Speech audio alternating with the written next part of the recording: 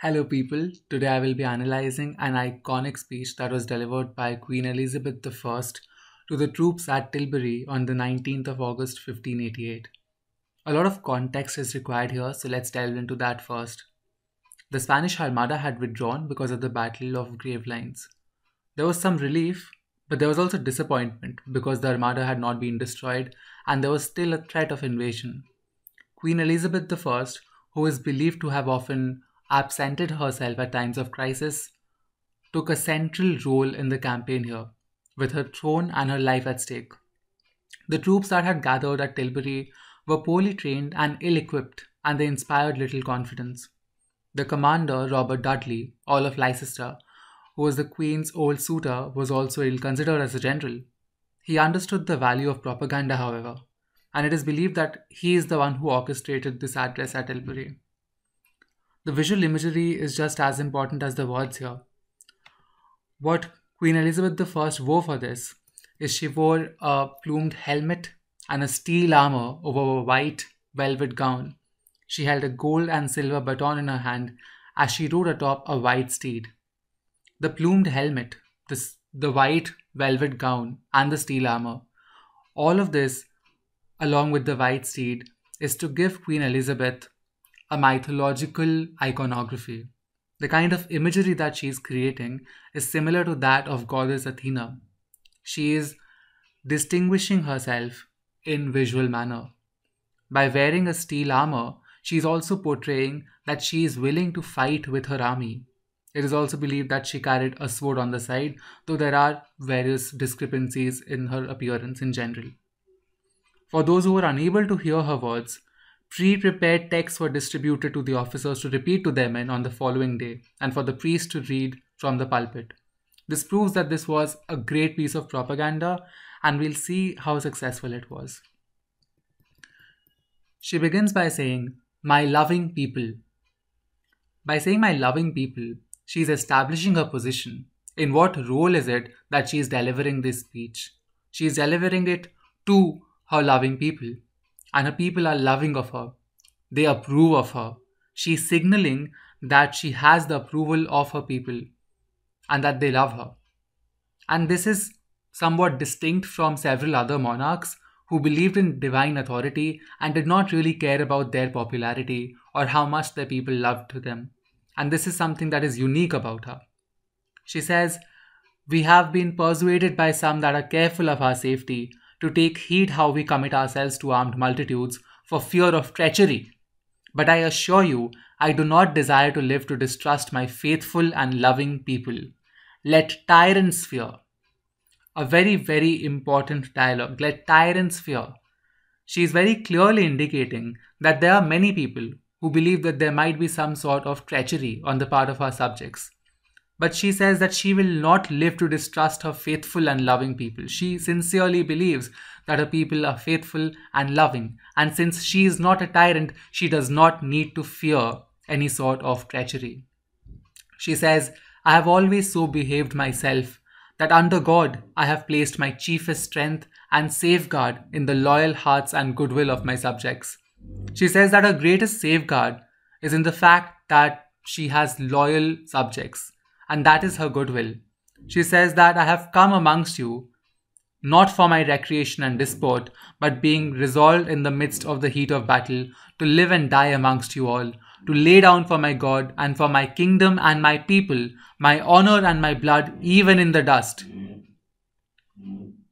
When she says that she is not here for recreation and disport, what she is doing is that she is basically clearing off any sort of a belief that since she is a woman, she is only here for recreation and does not have a real role.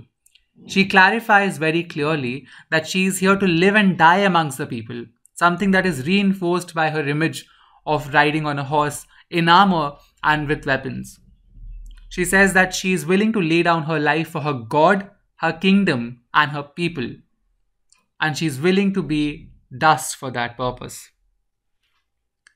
She says then, I know I have the body of a weak and feeble woman, but I have the heart and the stomach of a king, and a king of England too, and think foul scorn that Parma or Spain or any prince of Europe should dare to invade the borders of my realm, to which rather than dishonor shall grow by me, I myself will take up arms. I myself will be your general, judge, and rewarder of your virtues in the field. She begins by acknowledging that she is a weak and feeble woman. Why does she do that? She does that to disarm the crowd that might be hostile towards her. There might be a faction of the crowd that believes she's just a woman, what can she do? She's just weak and feeble. But what she does is that she disarms such kind of a faction by acknowledging right in the beginning, I know I have the body of a weak and feeble woman. There she disarms them. And then immediately she goes and says, But I have the stomach and the heart of a king, and a king of England. And immediately she is claiming power. She then invokes that she has this belief that it is foul scorn that any prince of Europe should dare to invade her realm. By doing that, she is also turning the enmity against the enemies into something that legitimizes her own power. And she says, I myself will take up arms, and I will be a general judge and rewarder of virtues in the field. She then says, I already know for your forwardness you have deserved rewards and crowns. And we do assure you on the word of a prince that they shall be duly paid. In the meantime, my lieutenant general shall in my stead, than whom never prince commanded a more noble or worthy subject, not doubting, but by your obedience to my general, by your concord in the camp, and by your valor in the field, we shall shortly have a famous victory over these enemies of my God, of my kingdom, and of my people. By referring to forwardness, she is indicating to the fact that a lot of the troops at Tilbury were volunteers they were forward, and for that reason itself, they deserved rewards. And that is something that she accepts right in the beginning. And then she says that I do assure you that you will be duly paid. What she does, what she does then is that she passes her own credibility and power to the lieutenant general, who was not very popular. There were some debates about his credibility as a lieutenant general, and there, what she is doing is after talking about how she has a legitimate claim to power, she's passing that on to the lieutenant general. She's passing her own credibility onto the lieutenant general. And she says, I do not doubt that you will be obedient to my general, my general. By that, she is placing her trust in the general and also in the soldiers to obey the general. And then she says that we will have a famous victory over the enemies of my God of my kingdom and of my people. Now, by saying that the enemy is an enemy of God, immediately a noble cause is being invoked. Now, the war is no longer about fear of invasion, it's no longer about defense of the country itself. While that is very important and that has already been talked about, she now brings it up to a nobler cause. These are enemies of your God, and that is why you need to be victorious. Because otherwise, Otherwise, you would be letting down your God. And that is the end of this page. What happens in the aftermath? We understand that the battle was won by England, but it was not because of the English army. Rather, it was because of a Protestant wind. What happened is that the Armada was heading straight into one of the worst storms in living memory at that time. It was referred to as the Protestant wind later. Why was it called the Protestant wind? Because Queen Elizabeth I had changed the religion of England into that of the Protestant one from the Catholic one. And she had done that basically because the Catholic Church called her illegitimate.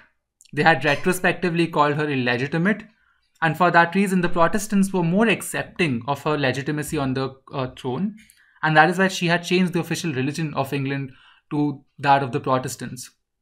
Hence, when a storm caused the elimination of the Armada, the ripping apart of the Armada ships on the rocks, in that situation, what the phrase was used was God breathed and the enemies were scattered. And that wind was referred to as the Protestant wind. We see here the Armada portrait a very, very important painting in history and something that shows the kind of imagery that was built of Queen Elizabeth I. We see on the left over here the English fireships that are drifting towards the Spanish fleet.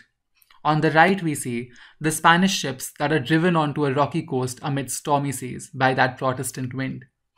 we see Queen Elizabeth in the middle, as if she is the primary causer of all of this. She is the primary mover who has led to the victory of England.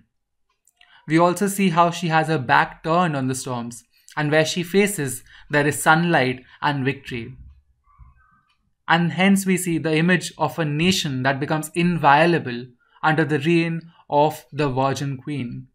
And with this reign, the Virgin Queen had become the Virgin Gloriana.